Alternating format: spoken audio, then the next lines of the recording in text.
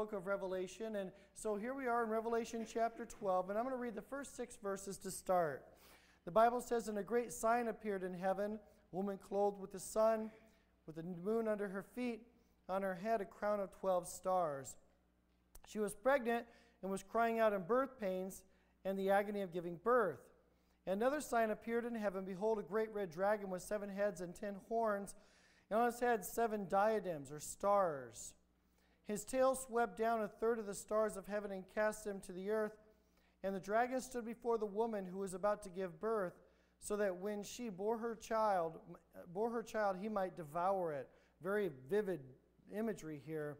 Verse 5 She gave birth to a male child who is to rule all the nations with a rod of iron, but her child was caught up to God and to his throne. And the woman fled into the wilderness where she was had a place prepared by God in which she is to be nourished for 1260 days. And that is the last during the last 12 during the last three and a half years of the great tribulation as we've started this, we've been able to see how that in the Great Tribulation period, the, it starts off as we gave uh, just compelling uh, proof from Scripture that, that there is an idea for this pre tribulationalist rapture of the church. And, and some believe in the mid tribulation, some believe in the, the post tribulation. And, and for those of you who believe in the pan theory, that in the end it'll all pan out anyway, um, that's good for you. Um, but, you know, I, like I said, with that, I, I will give you probably 90% uh, uh, positive that I believe that Jesus will come at the beginning of the Great Tribulation. The Bible says in Revelation, uh, at the end of Revelation chapter 3, and the things that are hereafter, which in other words, John is saying the things which are to come. So there's a lot of, there's a lot more there though. But anyway, we encounter in this scripture this woman. Now, uh, this is a very, like I said, the imagery here is very powerful. So, who is the woman? Well, I don't think that the woman is the church. Uh, we can be pretty sure of that. The church in Scripture is described as the virgin bride of Christ. Uh, but in Revelation, we have four women that are described. Um, the first one is Jezebel. Of course, we encountered her in Revelation chapter 2 as, as Jesus was talking to us about his church. And the second one is the harlot that we'll get to in Revelation 17 and 18. Uh, then there's this woman that we encounter in Revelation chapter 12. And then also the bride of Christ, which is Revelation chapter 19, verses uh, 19 and chapter 21 as well. So the bride of Christ is always um, espoused as the virgin bride of Christ. That she is uh, waiting her to be united with her groom, which is Jesus. And Joseph tells us about who this is actually, who this woman is, since it's not the church, since it's not the bride of Christ, it is, it is something else. In Genesis chapter 37, uh, verse 5, we have the Mazzaroth, which is the sign in the stars, the 12 different signs of the zodiac, if you will, if you know it that way today, originally in Hebrew, the Mazzaroth. And it was the, each one described or was a picture of each one of the 12 tribes of Israel. So uh, the woman is Israel, and it seems pretty apparent by who she is and, and what happens here with her. And Israel is described throughout the Old Testament as a woman in travail, ready to give childbirth, as we see this woman here in, de- depicted in Revelation. And, and we find this prophesied in Isaiah 54, 66, Jeremiah 3, Micah 4, uh, and Micah 5. And just to name a few, and the woman gives birth to this man child, and the church does not give birth. We don't find that in Scripture um, anywhere. so the woman is Israel, and she is not the church. Uh, Isaiah chapter 9, verse 6, the Bible says, Unto us a child is born, a son is given. So the child is born, but the son that relates in elsewhere in biblical prophecy to the promise of God to his church is that the Messiah would come. So we have this, um, this idea that, that the, the, the woman definitely is Israel. And, and Israel is, is, is God's prophetic uh, deliverance during this time and how he is going to bring the message of the gospel uh, to a, a, very lost world. Um, Israel appears 75 times in the New Testament in 73 verses. And this doesn't refer to what many might say today, referring to spiritual Israel. For those of you who want to dig up that a little bit, it refers to the literal Israel. So here we have a picture of this woman, Israel, who is getting ready to give birth. And there's a couple characters in, in here that are uh, also uh, described that that brings some uh, happening to this and makes some action happen. And before we get into um, all of this, I want to ask you to hold on with me kind of through this Sunday school time as we dissect the prophecy part before we re- really get to be able to preach about it. In Romans chapter 9 and, and through 11, Paul stresses that God is not done with Israel. Friends, the Bible tells us as this generation of believers to pray for the peace of Israel, that we have a duty and responsibility to love Israel because she is God's chosen nation, and through her came the Messiah. In Daniel chapter 9, verse 26, where the gap is the interval between the 69th and 70th week of years, uh, the 70th week, of course, referring to the, the, the, tr- the church age and the, the Great Tribulation period. And and, and these intervals stress the fact that God is not finished with Israel and that we are called to pray for Israel. And, and the devil, the Bible calls him the devil here, comes from a Greek word which means slanderer. So the devil is out uh, to get the Israel, he's out to get God's chosen people. And, and this uh, child that's born of this woman is, is, is, has uh, a great um, prophetic meaning for the end of time. So here we have this picture of this woman who is pregnant, ready to give birth, and she gives birth to um, a boy. And it, the, there's some questions to ask, and I just want to run these by you. How many have studied this portion of Scripture? How many have had read books about this portion of Scripture? You've uh, done your own research about this portion of Scripture. You've always, you know, had this or that. Maybe some of you have different ideas. So the first idea, of course, the, the most glaring one in the face, this man child, who is this boy? Well, is it Jesus? Uh, the Bible does describe him as ruling with a rod of iron.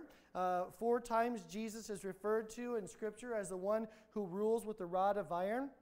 And this is probably the strongest argument of all the arguments that this child is Jesus. But it's not conclusive. And there are three classes of people in Scripture also that are described as ruling with a rod of iron the Old Testament saints, the tribulation saints at the end as well. But uh, remember, John says at the end of chapter 3 that everything hereafter, so in other words, everything from after chapter 3, after he gets done talking to the churches, everything hereafter is future events. And we've also learned very clearly that Revelation is in chronological order, except for these, uh, this long parenthetical portion and one other parenthetical portion, which is descriptive of what's happening. Like if I were to tell you today that uh, the last Seahawks game that I went to was a long time ago, and, and um, um, Glenn was there, but except Glenn didn't get to go into the Seahawks game. He is on the outside of the stadium, and I went in and enjoyed the Seahawks loss. And uh, as I was inside there, um, I was enjoying my $20 hot dog and drink and uh, came out and enjoyed the game. And, and Glenn standing on the outside. And he, he tried to listen on the radio. He could do whatever he could, but he was just desperate to find out how the game went, how it really looked. So I was trying to describe it to him. And, and I said, then this happened, then this happened. Well, then I got up and I had to go get a hot dog. And the guy in the hot dog stand, he wasn't very nice. He didn't have the correct change. So I went back to my, by the time I got back to my seat, my hot dog was cold because the guy walking around selling hot dogs wasn't there. I couldn't find any. So this whole time, uh, amongst the ideas of all the football game and everything that Warren Moon had done, uh, it kind of shows you the date. Um, Warren Moon had done during that time was interrupted by my great description of getting a hot dog in the middle of the third quarter. So that parenthetical portion, the description of the hot dog, also was happening at the same time as the game, but I was describing it to Glenn in such a way as because it was an interruption in my viewing of the game. This is kind of how John is. He is seeing all of the future events unfold in perfect order, then all of a sudden something happens, and, and it's a long descriptive portion, uh, similar to the stuff that God told him not to write down. Um, and, and, but he tells him exactly uh, who this is. And uh, this man child um, could possibly be Jesus. And many prophetic writers write that this is Jesus. But I have another thought. And I want to tell you, I won't lose my salvation over it. No, no, neither should you. Another thought is some people think it's the church. But you know, the problem with that question is the church is not described as ruling with a rod of iron in the Great Tribulation period at all. I have a better thought, one that I think may be very plausible. This could be because it's in very descriptive order of Revelation, the 144,000 that God sets aside during this time to be evangelists in the world. And the 144,000 people are virgin male Jews, and they are God's anointed evangelists to preach repentance and the message of Jesus to the world during the Great Tribulation. And we, we covered all of this in previous studies. But I have some good questions about this argument. And, and the first one I would ask number one, if the ascension of Jesus is what is pictured by this man child's ascension coming up, is it in history, in the history of events that follow his ascension? In other words, everything that we read about from this point on in Revelation doesn't really describe what Jesus' ascension was like when he ascended to heaven the first time, when he was here with his disciples.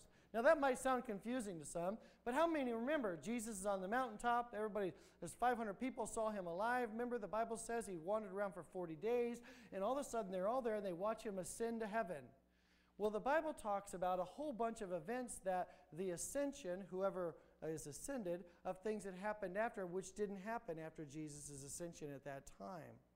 The second question I would say, so I would maybe more discount the idea of Jesus, but number being uh, the man child. And number two, when did Israel ever flee to a wilderness refuge where God protected and fed her for three and a half years? I don't find that in the history of Scripture where this was Israel prophetically. So that's just a good question. The third question I would have where in history is the account of an army chasing Israel and the earth swallowing them up. Now we know when they fled Egypt that the Red Sea swallowed the Egyptian army. We understand that. But this is specifically the earth, where God took care of Israel for three and a half specific years, 1,260 days during this time. Does the idea of the 144,000 fit this verse in verse 17 for those of you scholars? Like I said, hang on with me. Let's look at verse 17. Then the dragon became furious with the woman, went off to make war on the rest of her offspring. Not just one, on those who keep the commandments of God and hold to the testimony of Jesus, and he stood on the sand of the sea. So, there's my two bits. Will it keep you out of heaven if you don't agree with me? No. Will it get you to heaven if you do? No. Right? Come on now. We can have differing opinions about some of these things. It doesn't it's not all really important in terms of salvation. But in terms of eschatology, I believe it to be the 144,000. And the reason is because the descriptive of what happens afterward fits what happens to them. Now, the dragon obviously is Satan. Let's read verse 7. The Bible says, Now war rose in heaven. Now, can you imagine this? Satan doing war in heaven. All of a sudden, he picks up his swords, he picks up what he's got, he picks up his third of the fallen heavenly host, the demons, and he goes to heaven and he's going to make war. This is something new. This hasn't happened like this yet. Notice who's fighting here. This dragon and his army, they go to war. It's not Jesus fighting Satan. I hear this a lot. People always think that Satan is somehow the antithesis of Jesus, that, that they are just opposites, equal but opposites. Nothing could be farther from the truth. Jesus is God. The Bible proclaims him to be as God. He calls himself God. He fulfills all the divine attributes required for Jesus to be God in the flesh. And so here we have Jesus, God, creator of all things, who created Satan. So this angel gets a taste of the glory of God, steward of the throne of God, sitting over the throne of God, the leader of the worship in heaven. The, all, he's got all this glory being presented to himself, and he gets a taste of it, and some things begin to happen. Haven't you ever wondered about this crazy Satan? Why in the world, if he knows he's defeated, that he is still fighting? Anybody ever wondered that? What drives this guy? I mean, what is pushing this guy to, to certain doom and eternal punishment? I mean, uh, uh, well, he could be crazy. Okay, that's one thing. I, I see a lot of this going on. I, the, but, you know, the Bible tells us that since the cross, Satan is defeated. That means every burden that you've borne, everything, every sin that you've ever struggled with in life, Jesus paid for that on the cross. He is going to do no more to save you. He's done it all. His Holy Spirit speaking out loudly and boldly and clearly, compelling you to draw closer to Him in fellowship. The cross established forever your healing, your eternal salvation that God has touched and put within each and every one of us that calls Him Lord and pursues Him with all of our heart. So God has given us this great gift. Since the blood was shed on the cross, Satan is defeated. So, what in the world is this lunatic thinking? If we've ever asked, maybe we just think, well, maybe he's just mean. I mean, I've known some mean people. How many know some mean people? No, I've known some mean people, right? And they're just mean, and you wonder what in the world happened to that person to make them so mean.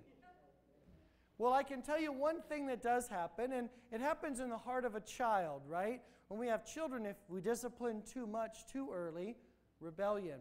If we discipline too late, too little, rebellion. And what happens with rebellion? The base sin of all things, the first thing that Satan fell to of all things, was pride. Now, pride, pride is a big thing. I have it up here. This is my. Maybe I don't. I don't have it. Okay, so the first thing he falls to is pride. His, his role here, maybe it's on your outline, but not on the PowerPoint. That's my fault. So Satan's role before the glory of before the before the fall, as I mentioned, is his pride was so deceptive that one third of heaven actually agrees with to follow him. Now, if Bernie Sanders got a third of the vote, he'd be probably pretty happy. But Satan gets one third of the vote. And who knows about Rubio, Cruz, and Trump? We have no idea about those guys. Don't read him, don't read any liberal leanings in my part, man. I'm quite the opposite. But the whole idea of the this pride coming in, pride is a powerful thing. In fact, it's so powerful. Uh, we learn from Scripture that it is the source of all contention. Proverbs 13:10. Do I have that? I don't have that either. Pride only breeds quarrels. Listen to this. But wisdom is found in those who take advice. by pride, I think the King James says, only by pride, only by pride comes contention. So if there's contention in any way, on any level in our life, it's because pride is a factor. Pride is right there. Pride does some other things too. And the next one on your outline, it, it hardens our heart toward God. Daniel chapter 5 and verse 20 tells us that, that King Nebuchadnezzar's heart became arrogant and hardened with pride, and, and his throne was taken away from him. It is some, from such a prideful place that atheists are born. Psalm chapter 14 and verse 1, the Bible says, The fool says in his heart, There is no God. In other words, God doesn't believe in atheists. Put that in your pipe and smoke it. It will harden our heart toward God. It takes away the, uh, the ability for us to, to have um, a freedom to approach His throne of grace. When our heart is hard toward God, it's hard to hear Him speak. We don't want to hear Him speak. We, we enjoy being miserable. How many have ever met somebody like that? It seems like they enjoy being miserable. Why are you miserable all the time? I mean, I've been accused of being that way in the past. As I had to reflect on my own life, saying, man, I really am miserable all the time. Why am I so miserable? I, have, I know Christ. I shouldn't be miserable all the time. But that pride comes in, and it, it, it, because it's all the source of contention, it hardens our heart toward God. In fact, the Bible says Nebuchadnezzar was brought lower than, than degraded because of his attitude, of his heart. Hosea chapter 7, verse 9 and 10 speaks of pride sucking the life out of Ephraim. And Ephraim the, the place, the community. The name Ephraim means double fruit. It says, the life is taking from your fruit, the life is coming out of you. Pride does that to you. Some other things pride does, and it's in your outline, I think it'll hinder our spiritual growth. Scripture says in Proverbs 26 12, Do you see a man wise in his own eyes? There's more hope for a fool than for him. Man, that's pretty sad scripture if we're arrogant in our own way, we, we think we've got it all figured out. You know, I was young, am, still, a little bit. It seems like the older I get, the more and more God has opportunity to knock the pride right out of me. And it seems like we, we get to know the place where we think we know a bunch, and then all of a sudden God comes in with something else, and He says, "You don't think you know? You don't know as much as you think you know." And He begins to take us, take us through the walk that we so desperately need, that discipline that He gives to us. But it hinders our spiritual growth. It takes us to a place where we can't grow in our faith. What a dangerous place to be in. Somebody who's proud against authority, proud against the advice of people, proud against the advice of their spouse, proud especially and foremost from the Word of God. It hinders us from coming to God. Psalm 10:4, the Bible says, "In his pride the wicked do not seek him. In all his thoughts there is no room for God." Pride pushes out our ability to have room for the wisdom of God. Another thing that it does in your outline, it causes us to deceive ourselves. I'm sure that you've heard it said that if you tell yourself a lie long enough, after a while you'll believe that it's true. In Jeremiah 49, verse 16, God says that the people had built themselves homes in high places in the cleft of the rocks, and because they thought that they were safe.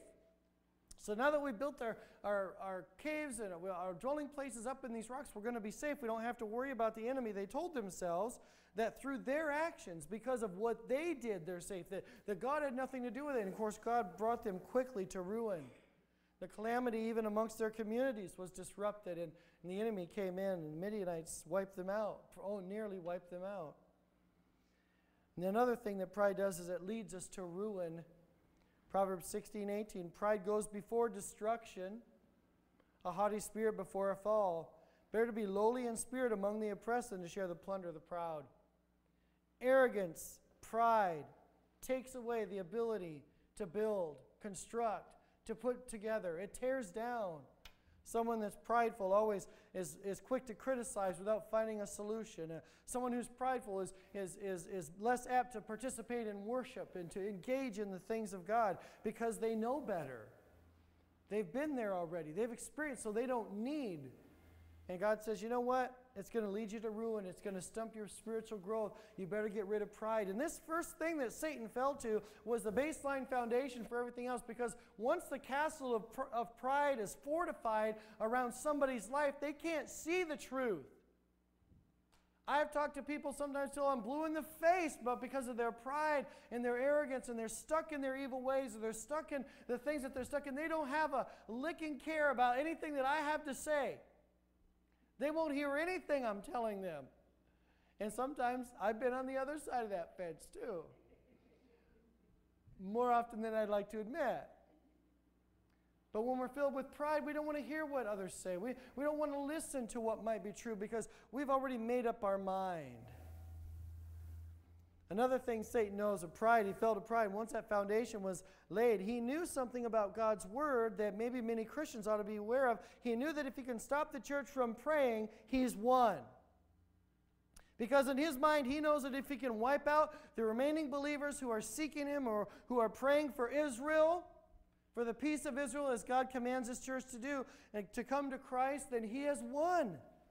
In other words, if Satan can wipe out the church's spiritual fervor uh, to seek God for souls and are, we're eager for Jesus' return, in his mind, he has won. And he has, hasn't he? If he has taken away the spiritual fervor and, and the veracity that God's people have to seek him and worship him and love him with all of our heart, what Satan has done is he has taken the cake. He has won even if he loses. The rapture is a secret, I believe, in Scripture because God wants to catch Satan by surprise. I know that almost everything else is revealed for those who want to do their homework in Scripture about prophecy except the rapture. It is that one thing that is a mystery. And, and, and if Satan knows this won, this last thing, he knows another thing, pride. He knows that, um, uh, that he, if he gets the church to stop praying is one. He knows the third thing, but he knows the clock is ticking. Romans 11 25 says, until the number of Gentiles comes in. In other words, there's a clock in heaven. There's a clicker, if you will. Every time someone crosses the finish line in heaven, God has another clicker because God has a predetermined number, apparently, according to Scripture, that when that number is met, then all of the sudden, the, the, He is coming for His church. So that clicker is going. God's sitting there. He's got an angel probably doing that. That's just little work, right? He's got a busy thumb, and, and as the days get longer, and the Bible tells us that the hearts of most will grow cold because of the increase in wickedness in the world, maybe it's getting a little slower. I don't know.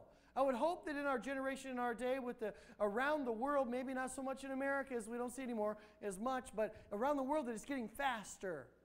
And that as the gospel is being preached to the world, that clicker is going off because the Bible says until the full number of Gentiles come in. In other words, God's opening this grace. He's spreading His grace out among the world, and He's calling to whoever will listen to come and find me, to come and be my children, to come and experience salvation, to come and enjoy the Holy Spirit, to come and enjoy the fellowship of the church of the saints of believers that are also seeking God with you.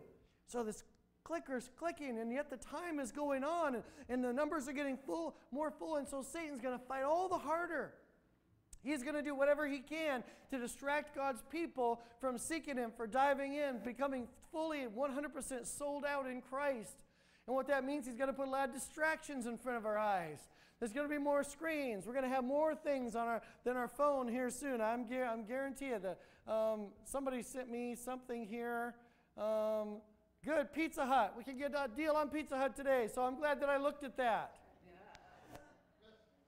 We're going to be looking at more stuff. We're going to become more and more distracted by the toys that we can get and the things that we can have. And, and anymore, there's no more uh, going out and doing stuff, you know, like we used to. It's sitting at home and seeing what's on Netflix for our latest binge watch. So he'll do whatever he can to take away our time.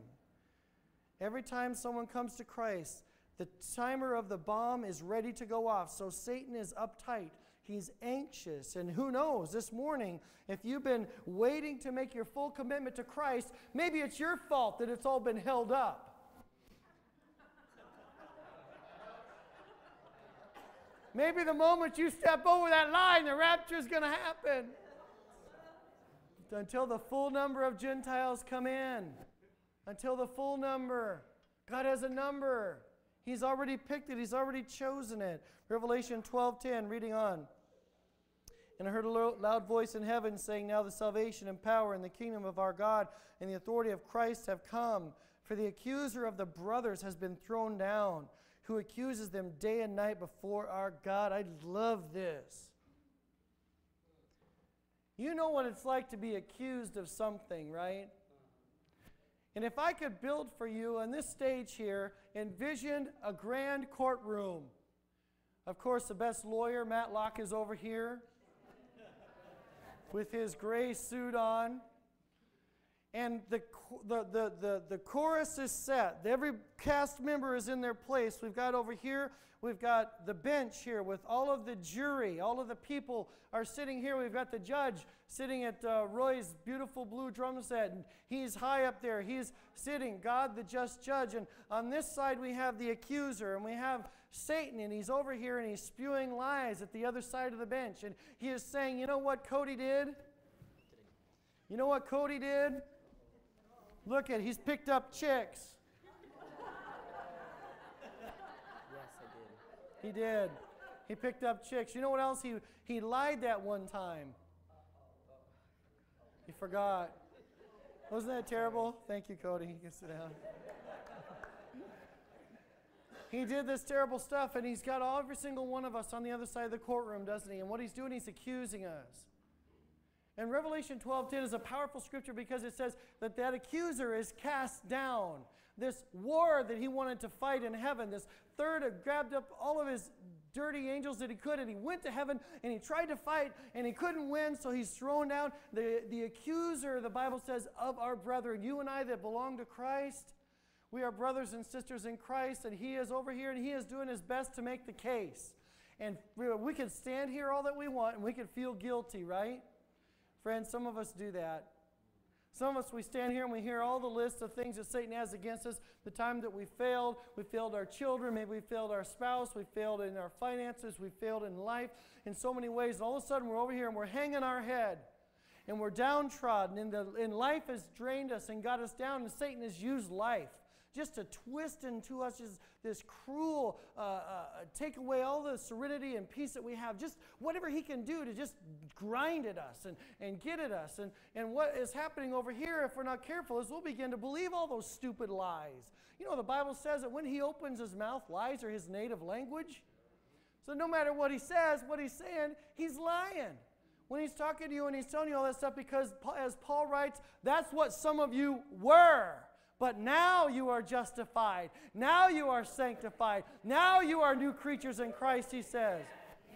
That's what you were. That's what I was. All of a sudden, all those accusations come up, and our lawyer comes up, and one thing Jesus hands to us is this card. It says grace on it, and that's all that it took. Because no longer does God the Father see all the grossness of sin that that accuser has thrown in our life. All he can see is the blood applied to that one standing there. He can only see his son's blood. It's only through Jesus that we have access to his throne of grace. Pretty good preaching. Thank you, Pastor. Thank you. Praise God. oh, boy. Pride. The Bible says one thing I, I want to add about this is that he's always accusing day and night, all the time. Verse 11 And they have conquered him, check out the conquering part, by the blood of the Lamb and the word of their testimony. For they love not their lives unto death. Therefore rejoice, O heavens, and you who dwell in them. But woe to you, O earth and sea, for the devil has come down to you in great wrath, because he knows, excuse me, his time is short. How did they overcome? By the blood. Hallelujah, that Jesus died on the cross, shed his blood, and it is through that, as Scripture says, propitiation, that intervention, that overshadowing of our sin, that because of that blood that we trust in, that Jesus shed for us on the cross, he became the sacrifice. How does that work? Well, from the beginning, God, uh, uh, Adam and Eve sinned and they rebelled against God's will. So what does God do? He, he kills animals himself. God killed the first animals and he uh, took the skins off animals and he covered their nakedness. And he said, From now on, I'm going to establish this covenant with you. Whenever you uh, sin, every, once a year, I want you to bring these sacrifices of blood to illustrate a covering for your sin. The Bible tells in Hebrews chapter 9 and verse 10, 9 and chapter 10, that God Himself sent Jesus in human likeness, in human flesh, for sin, to become sin for us. In other words, now that that blood has been shed, that old covenant is no longer valid. We have a new covenant in Christ. So the blood, they trusted in the blood, they trusted in Jesus. Number two, by the word of their testimony. They were unashamed and very willing to share the hope that is in Christ, and they loved not their lives to death. You know, these qualities are all things that God calls his people to embrace. That this is something that God wants us to hold on to. And, and friends, we're called to abandon everything else in life and follow him. That is the cost of salvation, the great exchange for our, our dead, dried up life, for a new life in Christ. And he calls us to himself to walk in him by his great mercy and, li- and then live for him in his grace. His grace is sufficient a grace that is not contingent on your works and how well you behave, a grace that is just there. If grace could be earned, then it's not grace. A grace that writes the same name of your name in that eternal book of life, the Bible says. The Bible talks about this book and it relates to Revelations. And in Exodus chapter 32, verse 31, Moses is praying. The people have sinned. Listen to what he says. He's got a tremendous heart for his people. So Moses returned to the Lord and said, Alas, this people have sinned a great sin. They have made for themselves gods of gold. But now, if you will forgive their sin, but if not, please blot me out of your book that you have written. Could you imagine making a statement like that?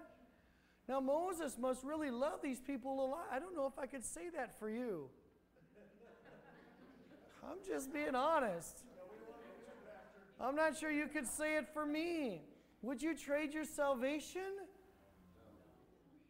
Paul writes it about his people, the Jewish people. He says, If I could be cut off from Christ so that they could be saved, I would do it. It's an impossible equation, of course. It's not even an accurate figure, it's not a good illustration. But Paul says, If I could, and Moses says the same thing. If, if God, you just blot my name out of the book that you've written. The book's been around since before the new covenant, before eternity.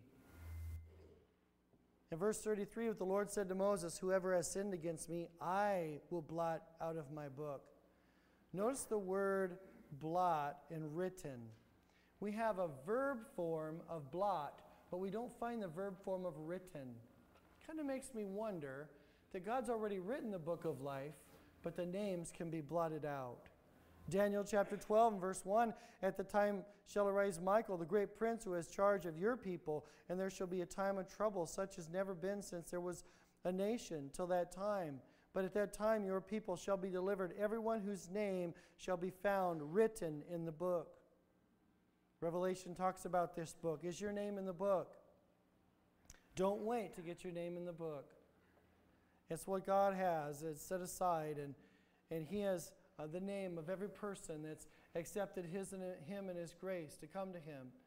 And He's written that name in that book. And if your name is not found in the book of life, when that great day of judgment comes, all these horrible things we've been talking about coming on the earth during the great tribulation, then, friend, you will not be allowed into heaven.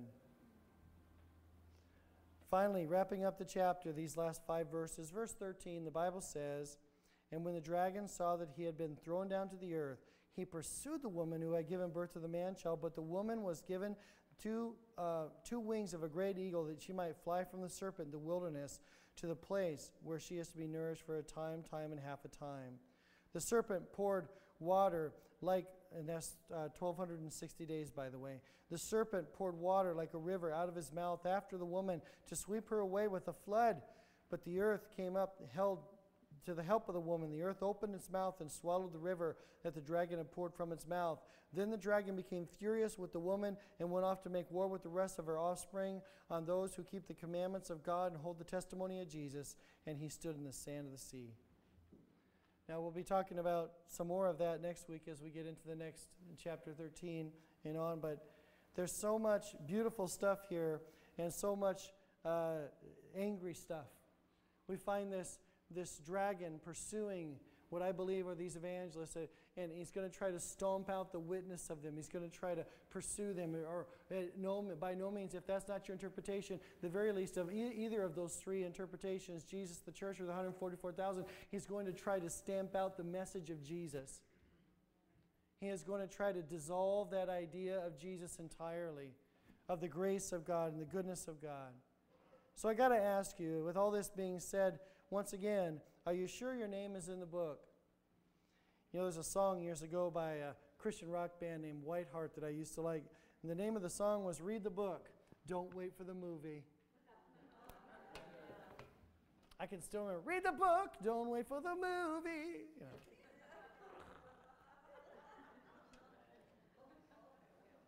Was it good? Aaron, you remember that one? No. Oh, yeah. Pam does. Pam does. Praise God. Stand with me, would you? I'm going to ask our worship band to come back. One last thing, and then we're going to receive communion together. Jesus, I thank you so much for your grace today, and I praise you for everyone that's standing in this room. We pray, Lord, that we would not leave this place remiss without asking if we have our name written in that book. I ask you, Holy Spirit, to come and fill this place with your conviction and your love, the love of Jesus. Jesus, have your way in us today. We love you so much as a church family. And we pray, God, right now that during these few moments, that we be able to turn to you and run to you with all of our heart. Friends, without looking around, I want to ask you a very powerful question, a personal one. If you're here and you aren't sure if your name is written in that book, the book of life, I want to let you know that you can be certain of that. You can be sure of it today. Don't let the accuser accuse you any longer in his courtroom of fabricated things. That's what you were. Step into the light of Christ today. Anyone here would just simply lift your hand and say, Pastor, that's me. I recognize that my name may not be in that book, and I want to make sure. Just slip your hand up and down. Yes, yes. Anyone else? Yes, thank you. Four, five, six. Thank you. You put your hands down. Hallelujah. What a tremendous response this morning. Those of you that lifted your hands, along with the rest of us, I want to ask you to pray in your own way. Sometimes we lead a prayer that's scripted, or I ask you to pray after me or say what I say. But your prayer needs to have kind of three ingredients. Number one, accept the fact that you're a sinner. Accept the fact that you've crossed that line of God's grace. And you want to make sure that you're in His kingdom. And secondly, that second point is to believe, the ABCs of salvation, believe God raised Jesus from the dead. Friends, He did. And He's coming back again for a church of people looking for Him. And then the last one, see, confess that to Him. Say, Lord, I confess that to you. I believe that you rose from the dead. I believe that you're Savior. And then accept Him as that Lord. So would you just pray right now in your own words and your own way with those ingredients? Just talk to the Lord like you would talk to me. Lord Jesus, I come to you. I just ask you to forgive me. I, I, I just accept the fact that I've sinned, that I've run from you, and that, that I'm, I, I, I need your grace. I need your forgiveness, Lord. Forgive me, Jesus.